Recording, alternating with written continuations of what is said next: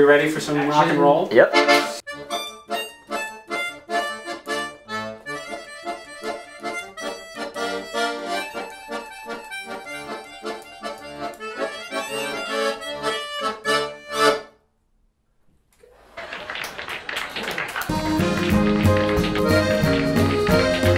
All right, welcome everybody to the Now Lately.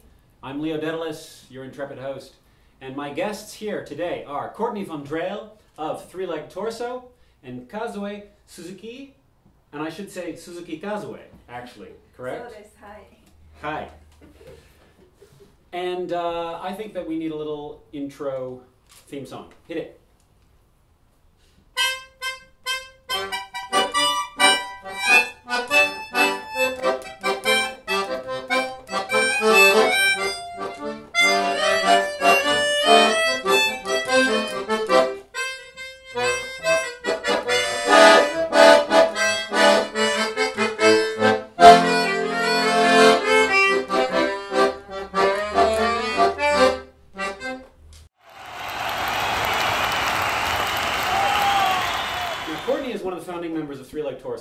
Everybody in Portland knows what that is. But this show also is really big in Hungary, and they probably don't know uh, about Three Leg Torso. Have you ever played in, in Hungary? We haven't played in Hungary, but it's good that you mentioned it because Bela is a first generation American. His dad is from Hungary. But for those of you that don't know, Bela is our violinist in a, a five piece band uh, violin, cello, accordion, assorted percussion, a double bass, and a bunch of percussion, as I mentioned before. That made it about seven people, but we've had to cut it down. And how long have you guys been? When did this start?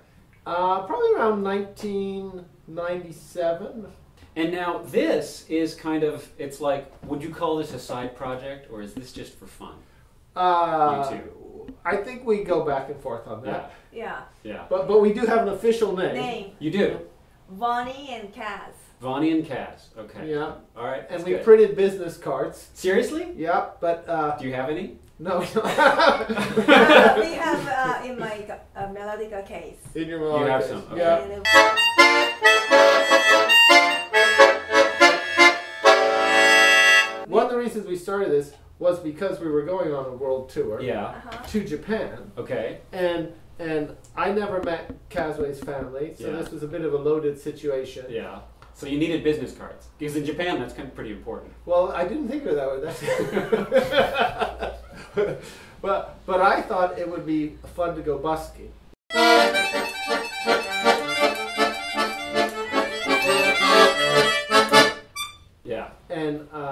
And so we looked up online and discovered that it was illegal to go busking. But are there places you can busk in Japan?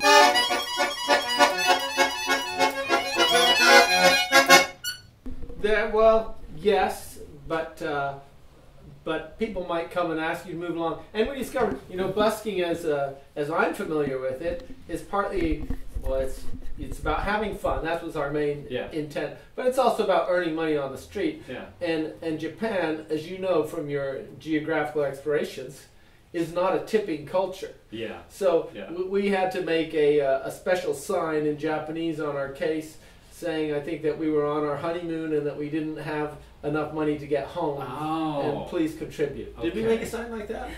Uh, in fact, it's different. Oh, okay. That's what she told you. It said. what we said is we flew from Oregon to uh, Tokyo, but then we lost our money and we have to swim back ah. to Okay. America. Okay. so we need a contribution. Okay. And did you actually make anything? yeah. Yeah. We well, well, you know, um, there was one gentleman who was on a first date, yeah. and, and he felt the need to impress this Ah, woman that he was with, Okay. and he gave like kind of the equivalent of about a twenty dollar note. Ah. And then there was one kind of creepy guy that really liked Kazue, Ah. and and he uh, he gave her and kind of held on to her hand as he gave it to her about fifty cents. Okay. Yeah. All right. Yeah, he grabbed all his cha- changes, Yeah. coins, and he wa- he kept staring at me all the time. So that's a hard-earned Uh, fifty cents. Yeah, so it was most challenging. Do you have anything that you want to play right now that you would play if you were in Hungary? Uh, Yeah. We do. Oh yeah, we do. We do. Yeah? Yeah, it's a bit epic. Yeah? Epic is good. This show is epic, man. So we um, we know this piece that's a uh, Hungarian dance, Yeah. Csárdás. Thank you.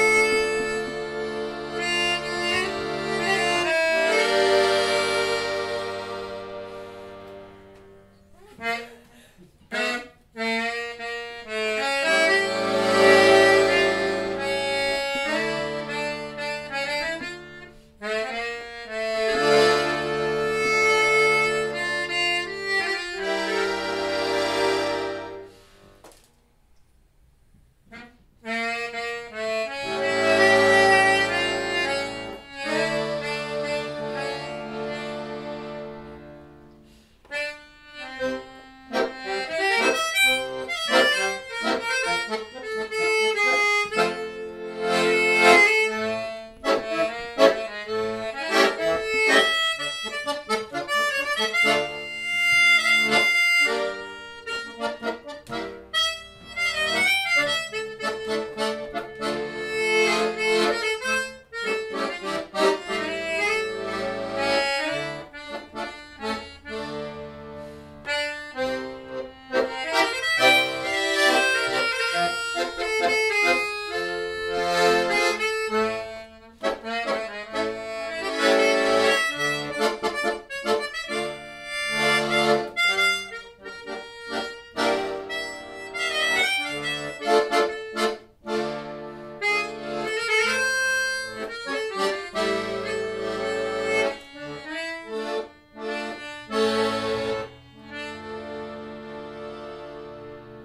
just the introduction. Uh, little this key got stuck. It's a temperamental instrument. Yeah. We went to Japan, as, as previously mentioned, and we bought. This is like the Rolls Royce of melodicas. Okay. And Yeah. yeah. Er, early on in the soundstage here, Kaz said it was the Steinway melodica. Oh yeah, no, that's that's true because that's a better analogy. But we uh, but we noticed like a good Steinway, it needs constant attention. Yeah, yeah. And and that uh, we found that we had to retune the whole thing. So you actually had to retune this thing Yeah. by hand, It's a And- teamwork. Yeah. and it's but it still sticks. Sticks th- this is a because different there's- story. Yeah, because that's a different story. Moisture gets in inside and getting um, Yeah. thicker, Yeah. so that the key sometimes stuck, and uh, uh, that was happening when we were playing music here. Yeah. Yeah. that hasn't. You need to just be playing in like the desert, Yeah. right? Somewhere nice and dry. That's true. But with a lot of passers-by. With a lot of passersby. Yeah. Right. Like at a desert, maybe a convenience store. I want to shift gears and I want to ask you a little bit about some of the projects that you're that you're up to. My imaginary teleprompter Oh yes. is flashing Hitchcock 9. Hitchcock Nine. Hitchcock 9. I'm so glad you asked that, Leo. Good.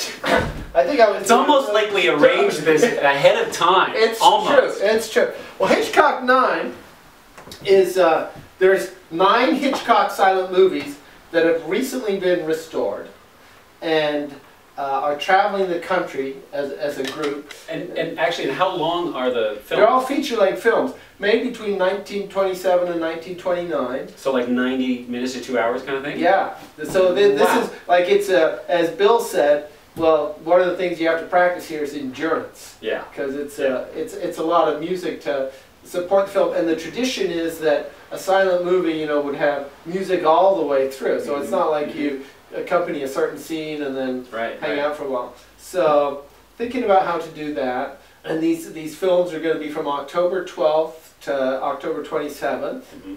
down at the Whitsell Auditorium.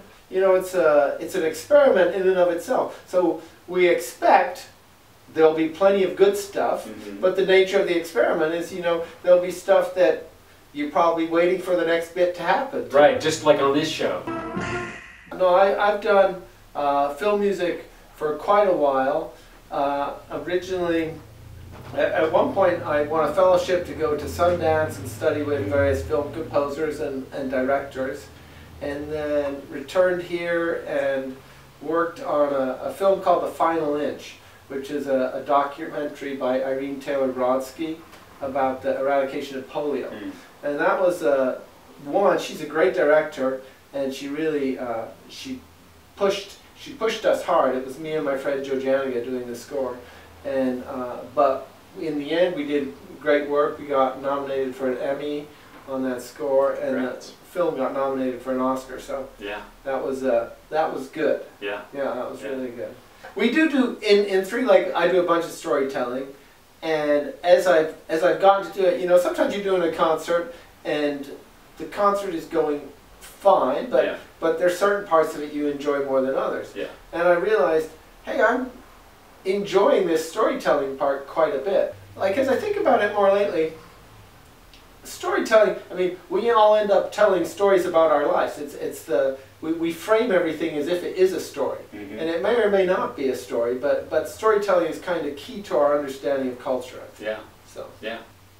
And have you done any storytelling uh, in your in your uh, busking days? Did you tell any stories about him I that he did. wouldn't understand? Next time uh, we should try that. well, you can tell us one now in Yeah. Japanese if you like. You can ああ tell us something that he doesn't want us to know. そうだね。じゃあ今度日本に行ったらはいなんかお話ししてみましょうね。はい。yeah. Thank you. Thank you very much. you hope. Indeed. Yeah. Indeed. Um, I'll keep you posted. how did you guys meet? We met through our uh, common friend Kyoko. Well, so she said, "Hey, I know some a, a guy who is a musician. Are you interested in meeting up?" And I was not so interested in that time. But okay. But then you saw this shirt, and it was like, yes, absolutely. Yes. oh, I never I hang out with the kind of guy who wear fashion Yeah, like this. yeah. Um, so Kyoko gave me email. Okay, here's his email. Email him, and then I said, I never emailed a stranger, and I tried a little bit typing, but I didn't know what to say. Mm, So I did not email mm, to Courtney. Yeah. mm. And meanwhile, Meanwhile, she had said the same thing to me. Ah. Yeah, and um, When, I. when was this? This is uh, about 2010, 2010. Okay. yeah, or nine. I think nine. Nine, yeah, nine. But then I, uh, and I felt the same way about emailing a stranger. Uh, uh, I think, I, I feel like when you say it, I feel a cultural difference. And I feel like when I say it, I just feel shy. but, uh, but eventually, one night I decided, okay, I, I'd email Kazue. And I think my goal was to, uh, so just say something ridiculous and, and kind of be myself. I, I, I was at a point of being single and realizing, you know, it's it's easier if you're just yourself and whatever happens as a result. That's what I'm doing wrong. okay, all right, all right. There's a little lesson here. So so and then Kazue wrote back uh, wrote back Yeah, something. I said that you are the winner uh, who ate uh, eating the three buckets of lettuce fastest. Yeah, I won the three buckets of lettuce eating contest. And, and and then I said that that woman's pretty good sounding. Do you want? Do you have anything else you want to We you want to play? We would love to play another song. Do you maybe know a song that you you'd like to sing? Because Yeah. we could maybe we could do one together. Here. Oh man, uh, you know, only if it's kind of blue and depressing. I can think of uh, I can think of a song that might fit. That Yeah. uh, let me see if I can teleprompt you. All right.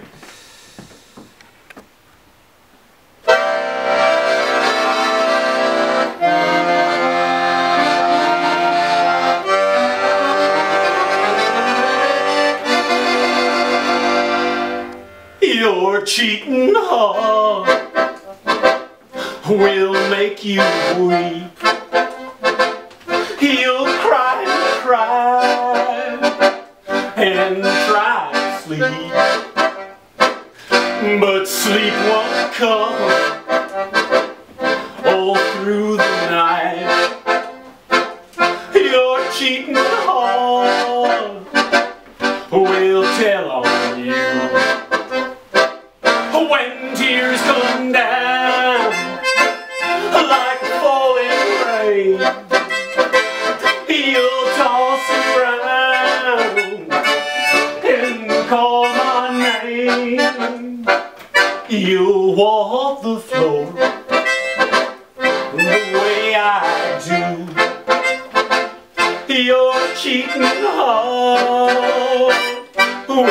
tell on oh, you.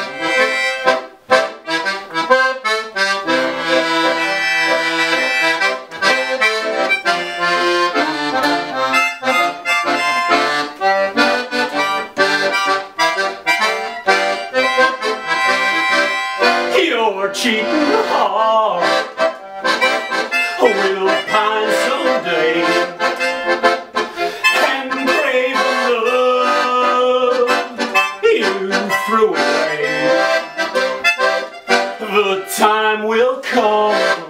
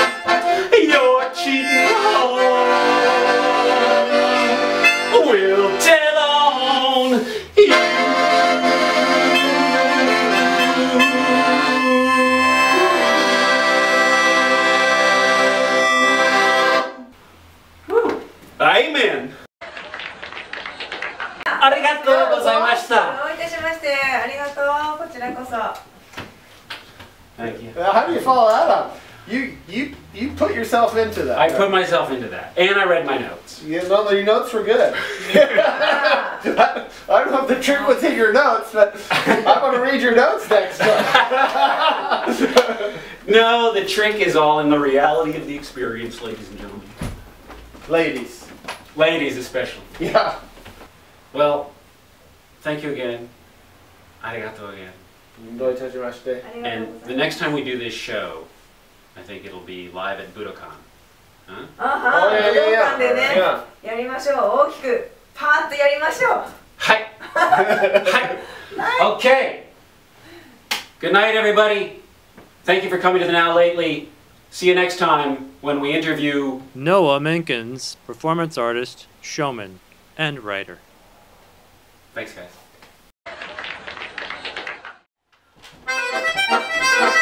Oh.